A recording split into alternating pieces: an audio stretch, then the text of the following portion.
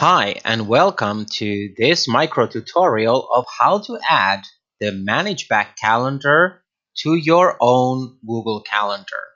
First of all, sign in with your login email and password. Now this takes you to the dashboard.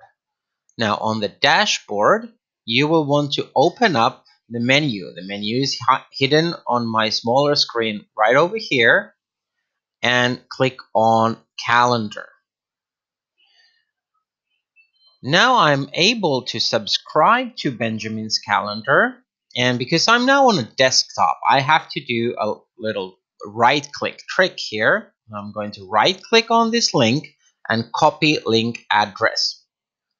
Now I'm going to put my ManageBac smaller, open up my calendar, my Google Calendar, I go to other calendars and add by URL.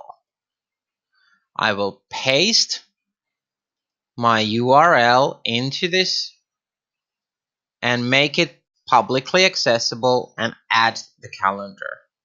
And now I have Benjamin's ManageBac calendar in my own calendar. I don't have to go into my ManageBac to see all the things that are happening in his classroom.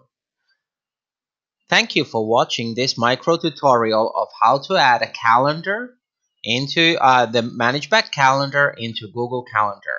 I hope you enjoyed it.